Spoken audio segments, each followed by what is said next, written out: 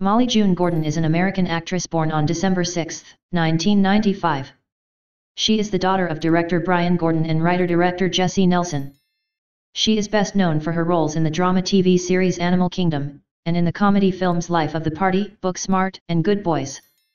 Molly Gordon is 5 feet 4 inches, 1.63 meters, tall and weighs 110 pounds, 50 kilograms. Her net worth is estimated to be around $1.5 million as of 2023.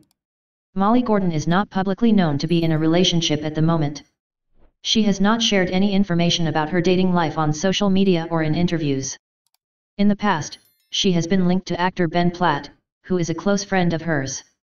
However, they have never confirmed that they were ever in a romantic relationship.